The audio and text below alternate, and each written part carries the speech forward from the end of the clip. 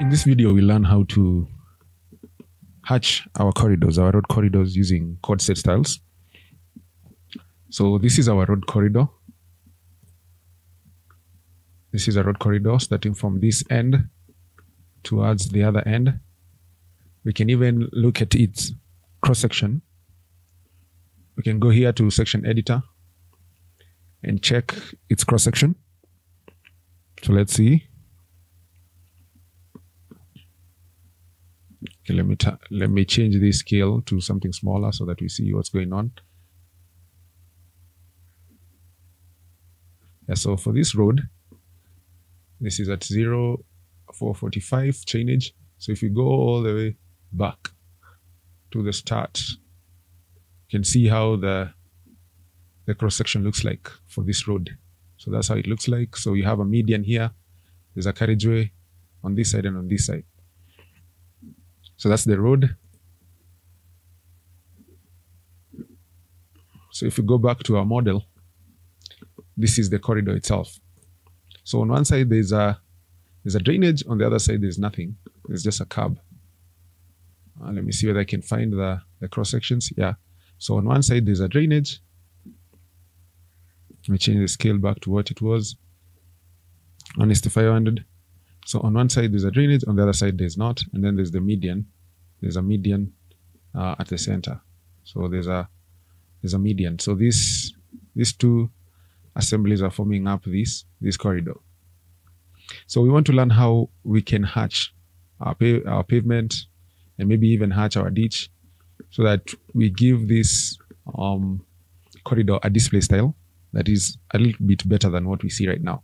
So currently, if I were to let me just clean up the drawing so that I provide more space. So if I was to click on the corridor here and I go to its properties, the code set style that is governing the display here is is called all codes.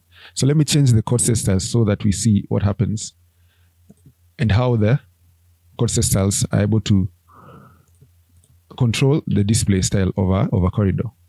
So if I were to click on view edit, for example, let's see whether it changes the corridor doesn't change by much. But let's see if I were to choose a, a chord system like uh, with hatching, all codes with hatching.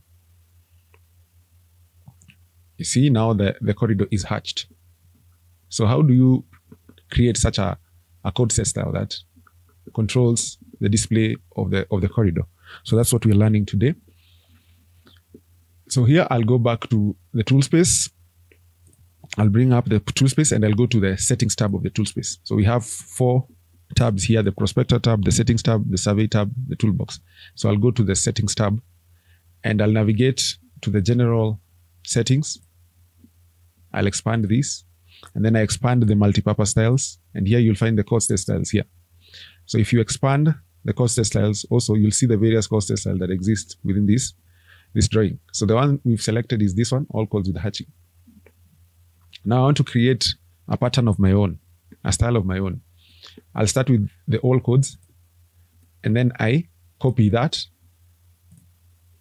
and we can call it hatching. Let's just call it hatching. And then on the codes, this is where the control happens.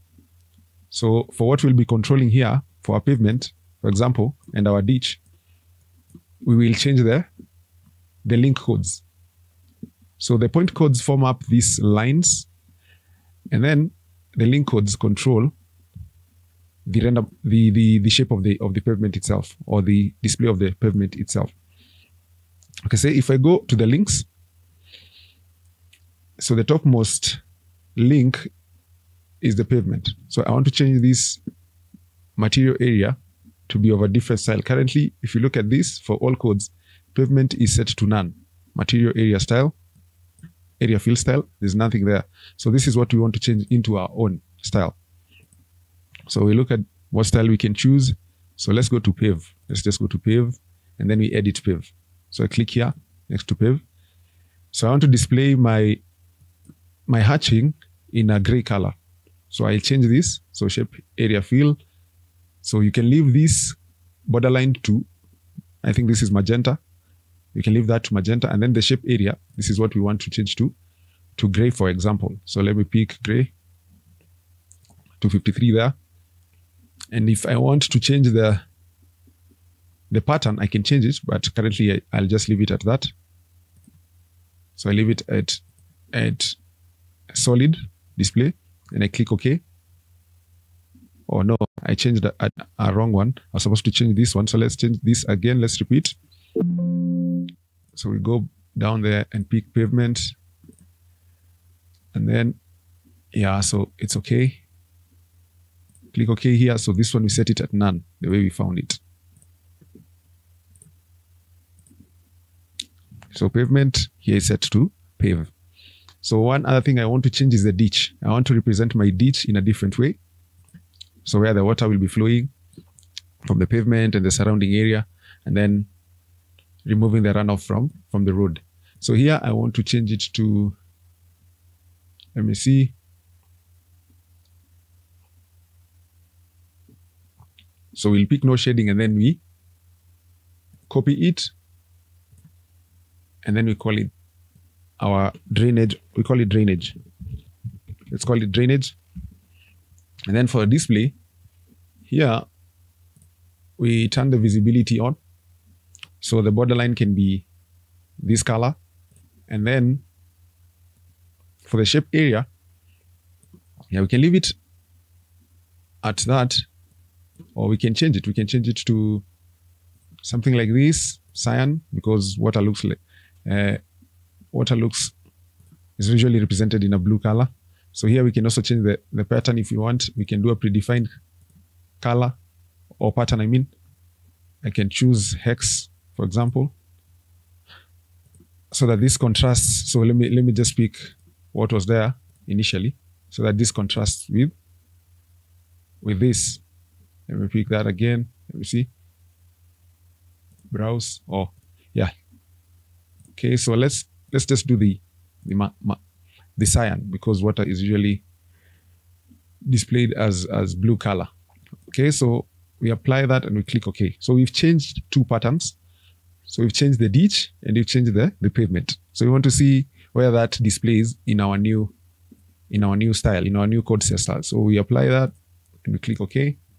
So now it's time to change this code set style from from what it is right now to what we've just created. And what we've created is populated here. You can see we've created this. So we want to change that style that is displayed there to what we've just created. I go to hatching. I change that to hatching and I escape. And as you can see, the pavement is now is now gray and the drainage here is has this cyan uh, shape. So this shape has a very big scale. So we need to reduce this scale so that it looks at least better. So let's go to back to hatching. I double click. I go to the links. I look for ditch and I want to change this. I want to edit this. So this scale looks quite a bit big. So let me change it to 0.1 and then apply. And then we see how that looks like. As you can see now, the ditch looks a bit better. The pattern now looks a bit better. So here is a pavement. There's a median here, and then there's a drainage here. So you can easily see right now that the styles show you what is happening on the corridor. And that's how you, you create your own code set style hatch for your corridor. If you like this video, remember to like, to share, and to subscribe to the channel. Thank you.